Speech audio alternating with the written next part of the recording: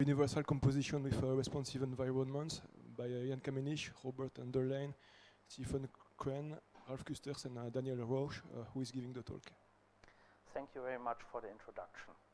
Today I'm happy to present you our work on universal composition with responsive environments and I want to start my talk with a very brief recap of universal composability models so everyone here is on the same page. Universal composability models use simulatability to define security, which essentially works as follows. We have some real protocol P which we want to analyze and we have an ideal protocol or ideal functionality which perfectly defines some task in a secure way. For example, we might have an ideal functionality for key exchanges. Now, P realizes this functionality or P is secure if for all possible adversaries that try to attack P on the network, we can find an ideal adversary or simulator that attacks F on the network such that no environment can distinguish both settings. Or in other words, um, it does not matter whether we attack P on the network, we might as well attack F instead and get the same kind of information. Main feature of these models is their modularity, which allows for reusing security results. This works roughly as follows. Let's suppose we have already shown that uh, some real protocol P realizes an ideal functionality F. For example, we have already shown that we have a key exchange protocol we might now want to build another protocol, uh, Q, which, uh, which serves a different purpose. Say, for example, we might now want to build a secure channel protocol. And this protocol Q can reuse the ideal functionality F for this purpose to show that it is possible to realize a secure channel. Once we have shown this, we can use the composition theorems from these frameworks to automatically conclude that even if we replace F with its realization P, the resulting protocol will still be a secure channel. Of course, we can iterate this. For example, we can now uh, build a protocol on top of F prime, which uses the secure channel. And once we are uh, done with analyzing this protocol, we can replace F prime with its realization Q and P. There are lots of different models that use this approach. However, our work is model independent. We have exemplified this by applying it to these three major models. So what exactly is the problem that we addressed with our work? In the following, I'm going to explain what urgent requests are and why they cause what we call the non-responsiveness problem. And then I'm showing how we solve this problem entirely by proposing responsive environments. So when we model a protocol in universal composability models, we often have to exchange some purely modeling related meta information with the adversary. There are several possible examples for this. Protocols often ask the adversary to provide a corruption status for the protocol to model that the protocol is secure uh, both when running in an honest environment and both when running with co uh, corrupted protocol participants. Many protocols also allow the adversary to choose uh, or provide some cryptographic material. For example, this is often done by ideal protocols, which might ask the adversary to provide some keys to model that they are secure even in a setting where the key distribution is arbitrary. Sometimes we want to leak information to the adversary, for example, to model honest but curious corruption. In this case, the adversary gets to see the entire internal state of a protocol without being able to influence the actual protocol run. And sometimes it's necessary to signal that some event occurred. For example, we might want to tell the adversary that a new protocol instance was created. All of this is easily done by just sending a simple message over the network to the adversary, and these messages are what we call urgent requests. Urgent requests have one important property, namely they do not uh, model any real network traffic. If we were to look at an implementation of this protocol P in reality, this message would simply not exist. A real protocol does not ask, am I corrupted on the network? It also does not ask the network to provide some algorithms to use. So uh, instead, the protocol run would continue without giving a real adversary any way to interfere with this protocol run. So if we go back to our uh, security model, it would be natural to require the same from our adversary in the security model. He should also allow the protocol to continue its run without interfering in any way by simply providing the expected answer. The adversary should just tell, for example, whether the protocol is corrupted or not. It should just provide the keys that uh, it was asked for. It should uh, just return control if, for example, the protocol uh, signaled that some event occurred. Um, while this is quite natural, this is actually not the case in any of the current universal composability models. Instead, our adversary in these models is actually much more powerful than any real adversary, as he can abuse these urgent requests to mount uh, distinguishing attacks. For example, the adversary might choose to activate the protocol in an unexpected way instead of answering an urgent request. So this might look as follows. Once he receives the urgent request, he sends a message to the environment, and the environment in turn can now send some I.O. input to the protocol, which the protocol might not even be able to process as it is still waiting for a response from the adversary. The adversary could also try and change the state of other parts of the protocol in between, which might look as follows. Here we have a protocol P, which has a subroutine F, and the adversary is free to interact with F in arbitrary ways before it returns control to the protocol P. So every real protocol has to keep this in mind that other parts of the protocol stack might have changed the state before receiving a response. And even worse, there are even cases where the adversary can block parts of a protocol entirely. For example, if the subroutine needs some algorithms to perform its task. It might ask the adversary for these algorithms, and by simply never providing the expected algorithms, we uh, now have a situation where F cannot do anything anymore. It's effectively blocked. If the adversary now activates P instead, Has to deal with a blocked subroutine. Altogether, we are in a situation where protocol designers have to deal with a lot of unintended adversarial behavior, which importantly does not relate to any attacks in reality.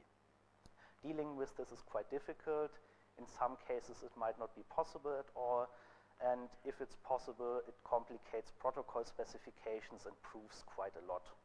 Also, because it's so very unnatural to think about these artificial attacks that do not relate to anything in reality, it's often forgotten in the literature, which in turn leads to underspecified protocols, flawed security proofs where the composition theorem can no longer be used, and functionalities that cannot be reused to build new protocols on top of it.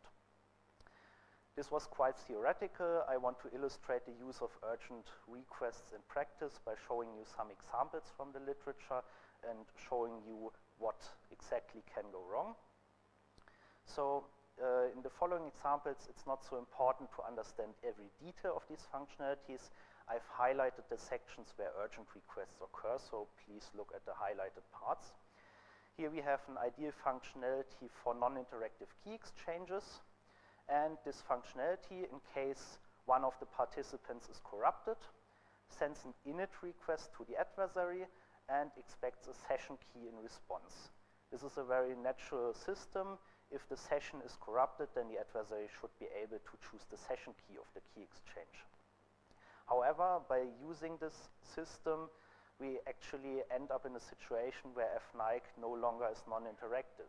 The adversary gets activated, so a higher level protocol that has just called this functionality to provide a key now has to deal with activations by the adversary. Even the authors acknowledge that this is quite unsatisfying but at the same time, it's really the best one can do in current models if we want to allow the adversary to choose the session key. Here's another example, an ideal functionality for signatures of knowledge. This functionality has a setup phase where it sends a setup request to the adversary and expects to receive several algorithms in return. However, the adversary is of course free to never provide these algorithms, in which case the functionality has to operate on undefined algorithms, which can lead to problems if we want to reuse this functionality in another realization. We might end up with a distinguishing attack based on this. This is an ideal functionality for certificates, and uh, this functionality contacts the adversary to verify certificates. It expects some value in response, which is then used in case the signer of the certificate is corrupted.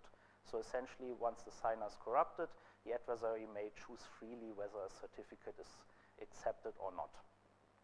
However, by activating the adversary, the adversary is free to quickly corrupt an honest signer before returning control, which in turn allows an adversary to accept invalid um, signatures even though they should have been rejected. The authors also provide a realization of this functionality, which is a nice example to illustrate two other aspects of the non-responsiveness problem. This realization uses an ideal subroutine called fsig to sign messages, and of course it expects an immediately, uh, immediate response from this subroutine. Signing is some local operation, so it just uh, should just return the signature immediately. However, this is actually not the case. FSIG uses urgent requests for signing messages. So once it receives the sign request, the adversary gains control and is now free to mount one of these distinguishing attacks on the protocol. This illustrates that the problem propagates throughout the whole protocol stack. If there's at least one subroutine using urgent requests, then all higher level protocols have to deal with unintended adversarial behavior. They have to specify in particular what happens if they send a message to a subroutine, still, are still waiting for a response, and for example, receive some message on the network or on the I.O. interface in between. Sadly, this is not done in this realization. As you can see here, this uh, realization simply assumes that it immediately receives a signature from the subroutine. Uh, it does not state what happens, for example, if it now receives a message on the network instead. I can illustrate another aspect of the problem using this example. Um, suppose for a moment that we did not build this realization using the ideal functionality fsig, but instead try to build it directly on the realization of fsig called psig. Of course, this goes against the spirit of universal composability models. We want to use ideal functionalities to simplify our analysis. They are conceptually very simple. And then we want to get the replacement with their realization for free using the composition theorem. However, if we had um, defined the whole realization like this, then P would actually be well defined because PSIG indeed immediately answers signing requests. There are no urgent requests involved anymore, so P does not have to deal with any activations by the adversary or environment in between. Altogether, we have a situation here that shows that idealizations cannot express certain properties that might be present in realizations. We could end up in a situation where we can prove a protocol secure using a realization, but we cannot prove it secure if we had used an ideal subroutine instead, which is really undesirable and goes against the whole spirit of the universal composability frameworks, which try to uh, replace parts of a protocol iteratively with ideal functionalities. So as we have seen in these examples, it's very important that protocol designers specify what happens if uh, a protocol is still waiting for a response from the adversary or subroutine, but receives a message on the network from the adversary or an unexpected message on the I.O. interface instead. There are several possible workarounds uh, that one can try to apply to get a full specification for these cases. Perhaps the uh, most intuitive one is just to say I'm still waiting for an important response, so I will drop all other messages that I receive, I will just block them. Alternatively, we might also be so nice and just return an error message that tells other protocol parts that we're still waiting for some response from the adversary. Maybe we could try to queue new requests and process them later on once the adversary was so nice to answer our urgent request.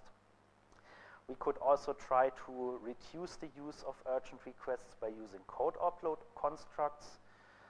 Or in some cases, it is possible to resort to a default. For example, if we wanted to receive some algorithms from the adversary and the adversary does not provide these algorithms in time, then we could use a default algorithm.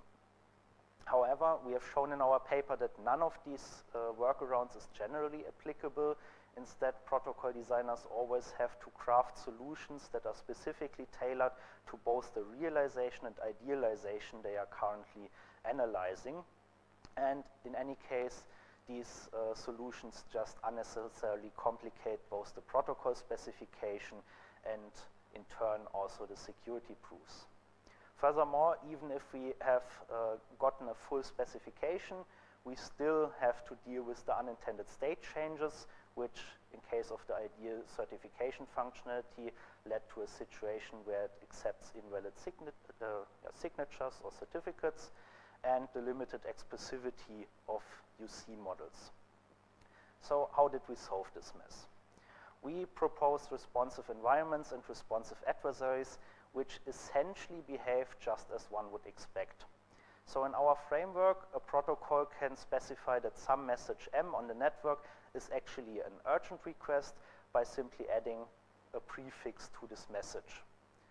Once the adversary receives such a message, he is still free to communicate with the environment in arbitrary ways. However, we have blocked all unintended communication paths to the protocol until the adversary provides the expected response. Afterwards, the protocol run can just continue as expected. So if we go back to the previous slide where I introduced the non-responsiveness problem and showed you several types of possible distinguishing attacks, then we can see that using our framework, none of these attacks work anymore, but the adversary rather behaves as a real adversary. He is no longer more powerful than any real adversary. So our framework provides a very natural solution to the entire problem, and at the same time, it's quite simple. It's really just adding a tag to a message to get an immediate response, and it does not involve any additional complications that one has to show during security proofs. It can even be applied retroactively to the literature. So for example, if we have some uh, functionality from the literature which is formally underspecified, uh, we can use this framework to um, make sure that the specification actually is formally correct. And it is model independent. We have in uh, exemplified this by applying it to the three major models of uh, the UC model, the IITM model, and the GNUC model. In case of the IITM model, we also provide full details, including formal definitions of urgent requests, responsive environments, and responsive adversaries. We define various security notions from the literature in this framework and show that all of them are still equivalent, which serves as an important sanity check for our framework. Of course, all security notions are still reflexive and transitive, and perhaps most importantly, we have shown that even though we reduced the power of environments and adversaries, they are still strong enough to show all composition theorems of UC frameworks. So let's go back to the examples from the literature and uh, see what our framework can do for them.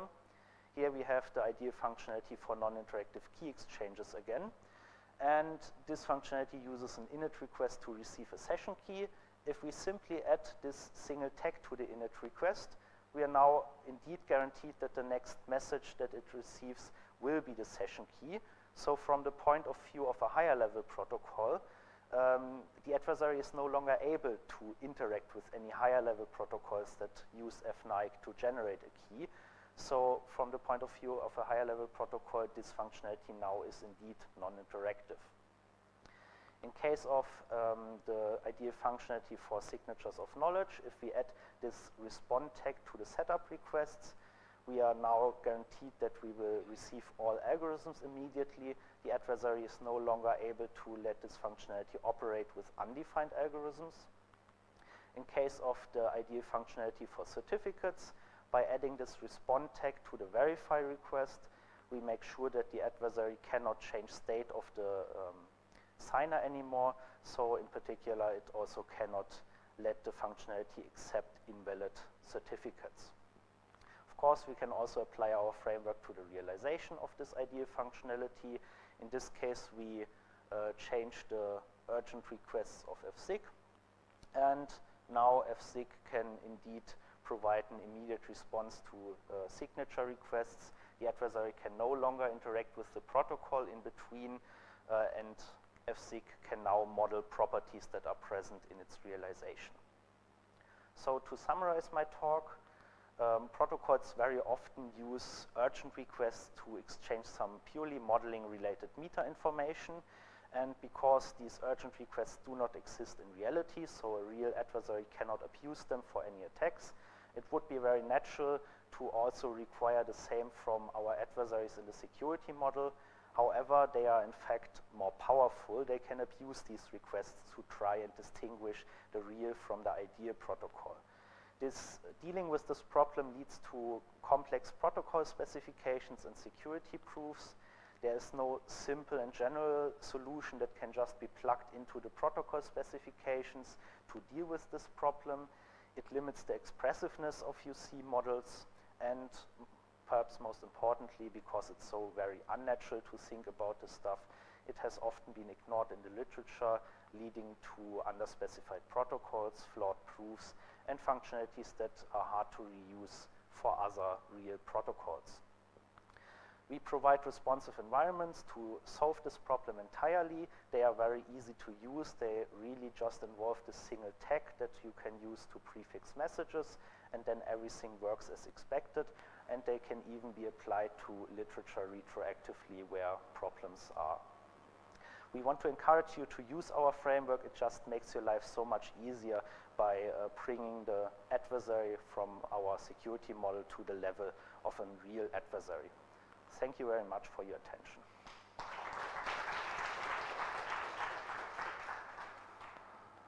Is there any question?